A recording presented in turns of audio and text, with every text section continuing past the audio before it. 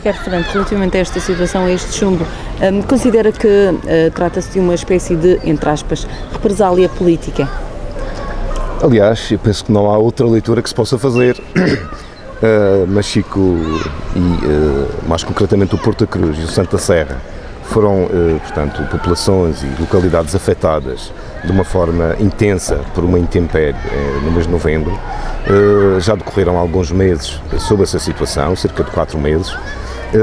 Da parte do Governo Regional não houve, portanto, uma palavra, um gesto solidário para com Machico, de modo a nos atribuir meios, formas específicas para que a Câmara Municipal e a Junta de Freguesia, as Juntas de Freguesia neste caso, pudessem no terreno dar resposta às situações mais prementes, para nós, de facto, é incompreensível, eh, como referenciou aqui o Avelino Conceição, que eh, uma proposta feita na Assembleia Legislativa Regional, que visava, eh, naturalmente, dotar o município, o Governo Regional de meios financeiros para acudir a esta situação, tenha sido votado contra, com a agravante imagine-se, de os próprios deputados do PSD, eleitos pelas populações de Machico, inclusivamente um que é natural aqui do Porto Cruz, tenha votado contra a sua população, contra a sua localidade, eh, só apenas por uma berra partidária, que é aquilo que está a acontecer.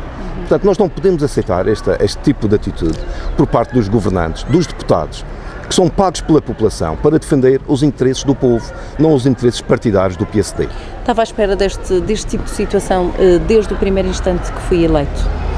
Não estava, tanto não estava que eh, no meu discurso de tomada de posse eu referenciei que eh, eu estava na, portanto, com o objetivo de ter uma relação institucional correta Governo Regional, de respeito mútuo, era isso que eu aguardava da parte do Governo, que houvesse um respeito mútuo e neste caso do Porto Cruz o respeito se eh, transfigurasse em solidariedade.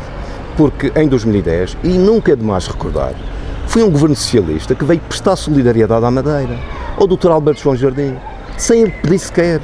Portanto, o Primeiro-Ministro predispôs-se logo a vir cá e estender a sua mão solidária para com a população da Madeira. Era isso que Machico pretendia do Governo Regional, porque afinal a entidade máxima da Madeira é o Governo Regional. É o Governo Regional que nos tem de dar ajuda e de acudir eh, em situações de dificuldade e de catástrofe, como aconteceu. Portanto, eh, eh, eu queria também dizer o, o seguinte, que referir a hipocrisia do PSD neste processo.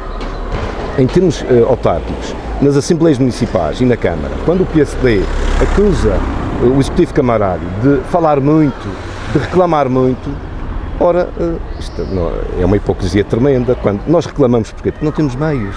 Não conseguimos fazer obra física sem meios financeiros. É impossível. O Governo Regional sabe disso mais do que ninguém.